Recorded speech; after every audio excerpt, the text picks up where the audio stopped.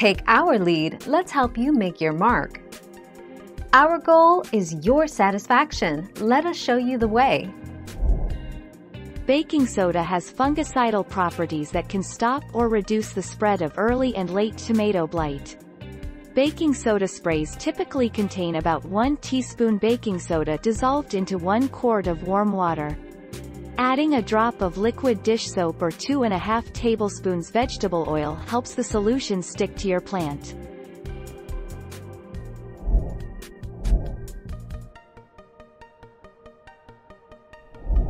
Make your mark, take our lead. Managing tomato blight The absence of live plants should rid the soil of the disease in this time.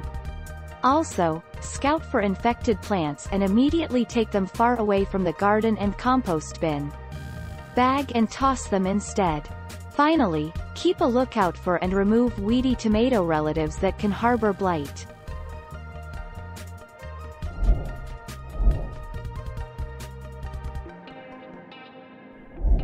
Make your mark, take our lead. Glad to hear coffee grounds are working for your tomato plants. Nevertheless they're often used on acid-loving plants like azaleas, rhododendrons, blueberries and tomatoes. Be careful, however, not to overload tomatoes with too many coffee grounds. Tomatoes like slightly acidic soil, not overly acidic soil. Thank you for watching. Please subscribe and hit the bell notification.